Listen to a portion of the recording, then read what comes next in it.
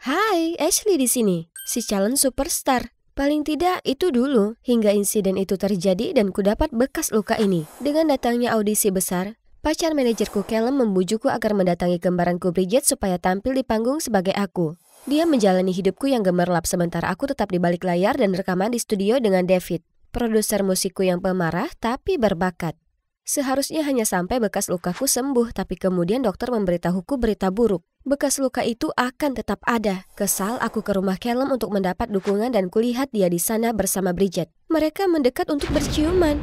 Aku tak dapat percaya saudaraku dan pacarku tega lakukan ini padaku. Jadi dengan amarah berkecamuk, dengan karate ku tendang pintu itu terbuka lalu merangsek masuk menghadapi ular-ular berkomplot ini. Teganya kau, pacarku dan saudaraku sendiri. Dia pacarmu? Ah, aku tak tahu, aku sangat menyesal. Tidak, kau tak salah apa-apa. Aku yang naksir dia duluan, Ashley. Bisa kau salahkan aku, dia itu bintang tanpa celah. Kau akan paham karena kau dulu adalah dirinya. Paling tidak sebelum kau runtuh. Aku ini tertabrak mobil dasar kau brengsek. Tapi itu tak berarti baginya. Saat itulah kenyataan menamparku. Callum tak pernah mencintaiku. Aku hanya alat baginya. Kau tak bisa percaya padanya, Bridget, hanya soal waktu sebelum dia anggap kau tak lagi berguna baginya lalu mencampakkanmu. Seperti apa yang dilakukan padaku sekarang. Dan aku akan pastikan seluruh dunia tahu bajingan macam apa dia. Callum tiba-tiba menerjang ke arahku kemudian dengan agresif menyeretku keluar dari rumah. Kau pikir kau bisa mengancamku dengan mulut besar itu? Siapa yang akan percaya padamu, ha? Kau cuman bayangan Bridget, versi menyedihkan yang cacat dari dirinya. Jadi, menyingkirlah. Kau, kau tak akan lolos dari ini. Kau tunggu dan lihat saja. Hari-hari berikutnya, aku masih terpaku pada kata-katanya yang kejam, tapi aku harus lakukan sesuatu untuk merebut kembali milikku. Jadi kuhabiskan waktu lama sekali menutupi bekas lukaku dengan makeup kemudian muncul di acara di mana seharusnya aku hadir. Dengan percaya diri, aku melangkah ke pintu masuk. Wow, wow, usaha yang bagus, Ashley. Tapi bekas lukamu kelihatan. Coba topeng Kylo Ren lain kali. Uh, Itu menyakitkan. Merasa putus asa aku mulai berjalan dan secara tak sadar kakiku membawaku ke studio.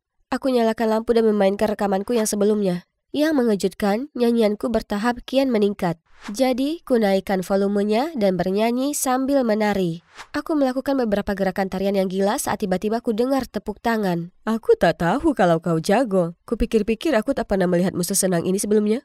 Kau tak tahu apa yang sudah ku alami. Aku merasa nyaman berada di dekatnya, jadi sebelum bisa kuhentikan diriku, kuutarakan apa yang baru saja terjadi. Dia memaksaku membawaku ke suatu tempat yang menyenangkan untuk menghiburku. Ternyata tempat menyenangkan David adalah pameran Jepang super keren ini. Kami berbagi permen kapas yang sangat besar dan menyalakan kembang api lalu menggambar not musik di udara.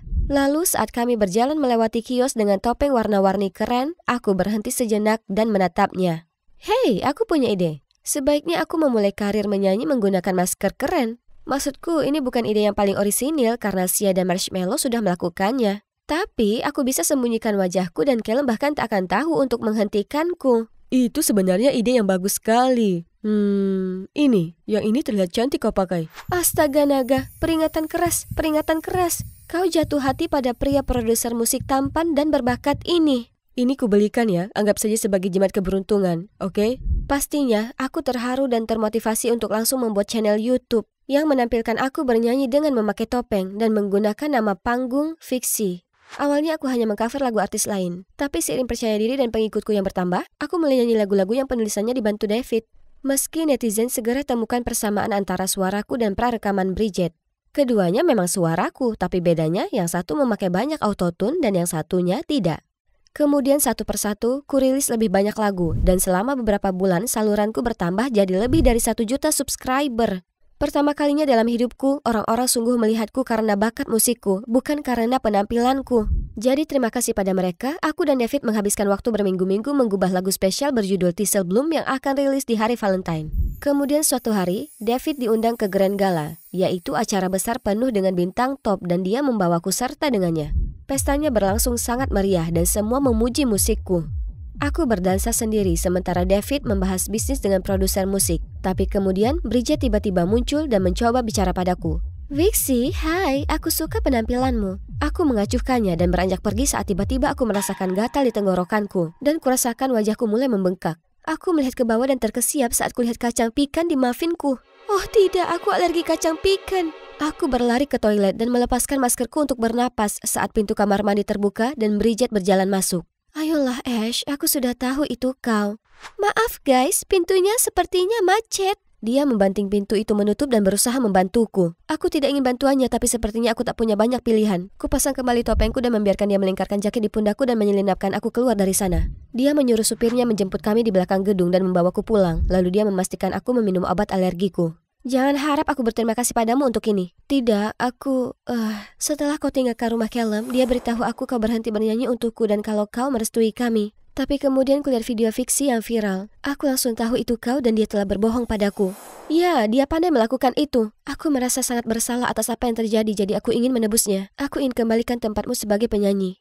Kau serius? Tentu saja. Aku sangat lega kau belum menyerah pada mimpimu. Kau tak tahu betapa hebatnya suaramu. Sebenarnya aku tahu, tapi aku tak bisa menerima semua pujian itu. David membantuku membuat lagunya dan kami sebenarnya akan merilisnya pada Valentine ini. Sungguh, aku tak sabar untuk mendengarnya. Baiklah, kau bisa mendengar demonya jika kau mau. Dia suka sekali lagu itu dan aku harus akui, terasa menyenangkan ada saudara kembarku kembali. Beberapa hari setelahnya aku sudah benar-benar pulih dari serangan alergiku dan merasa bersemangat dengan dirilisnya lagu baruku. Tapi kemudian aku melihat laptopku dan melihat Bridget telah merilis lagu baru, Thistle Bloom. Laguku. Aku langsung menelpon Bridget untuk mencari tahu apa yang terjadi. Terkejut, ya kan? Sekarang kau tahu bagaimana perasaanku. Aku selalu di bawahmu. Sekarang waktunya kau yang jadi pecundang. Oh, dan ngomong-ngomong, aku dan Callum resmi pacaran. Dia memilihku daripada kau. Begitu juga para penggemarmu. mereka pastinya tak akan dibodohi. Akan kutunjukkan mereka kebenarannya. Aku segera online dan bersikeras kalau lagu itu adalah karyaku. Tapi tak hanya para netizen tak percaya padaku, tapi mereka ingin aku diboikot. Peniru Ashley ini sangat tragis. Selalu menganggap gadis bertopeng ini mencurigakan. Dia kira dia begitu licik mau mencuri lagu Ashley.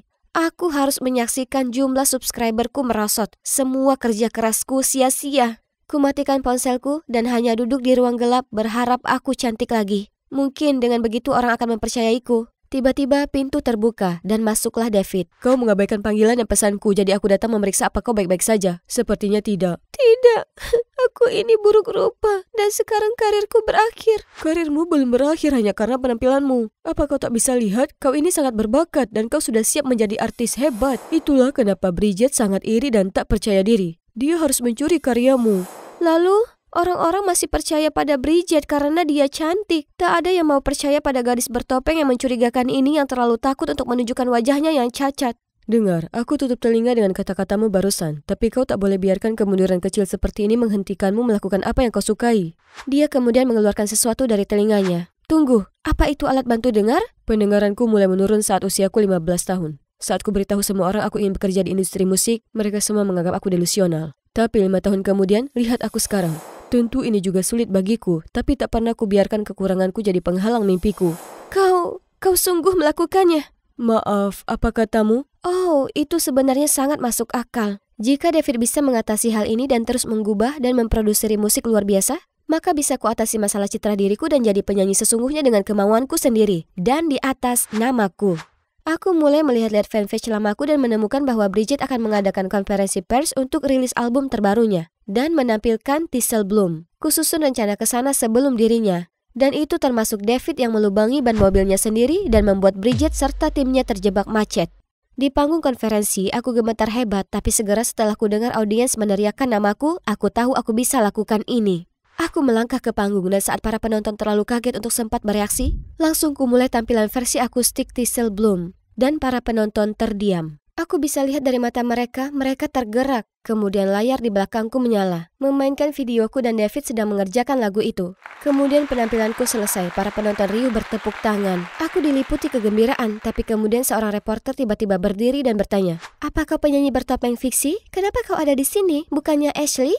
Aku tahu ini momen kebenaranku, jadi ku hela napas panjang lalu melepaskan topengku. Aku sebenarnya Ashley yang asli. Para penonton terhenyak kaget. Kegaduhan mulai menyebar. Kudapatkan bekas luka ini dari kecelakaan mobil. Aku begitu haus ketenaran, tapi percaya aku tak bisa menjadi bintang karena bekas luka ini. Jadi ku minta saudara kembarku Bridget gantikan posisiku. Aku minta maaf karena telah menipu kalian seperti itu dan aku janji mulai sekarang, aku akan selalu jujur pada diri sendiri, dengan atau tanpa bekas luka. Kemudian aku turun dari panggung dan berjalan melewati Bridget yang berusaha kabur dari reporter.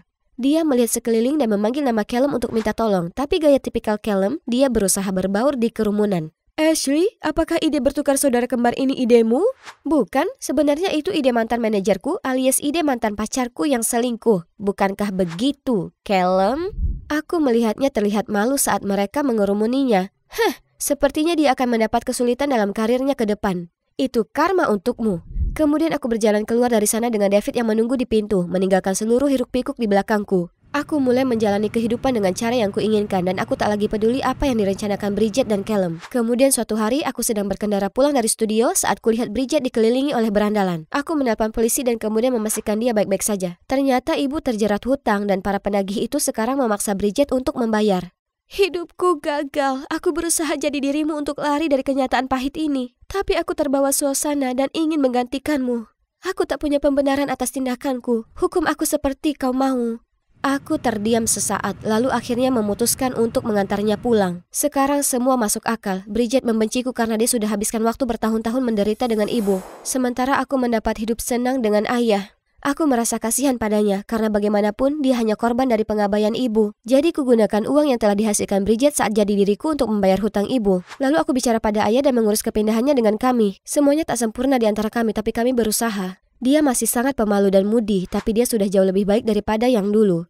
Aku belajar menerima bekas luka di wajahku dan jadi penyanyi sejati. Aku mungkin kurang populer tapi kurasa aku cukup terkenal dan juga jadi inspirasi untuk para gadis muda yang merasa tak percaya diri dengan penampilan mereka. Dan apa kalian tahu, aku bahagia dengan itu. Yang terbaik dari semuanya, sekarang aku punya pacar yang lucu, baik hati, penyayang, meskipun terkadang suka marah-marah, David. Kami bahkan membuka perusahaan musik yang menilai klien kami berdasarkan bakat mereka, bukan penampilan mereka. Aku sedang meringkuk di samping David menonton berita ketika reporter mengatakan bahwa ada terobosan baru dalam perawatan bekas luka. Apa masih ingin menghilangkan bekas lukamu? Tidak, ini sudah jadi bagian dari diriku sekarang.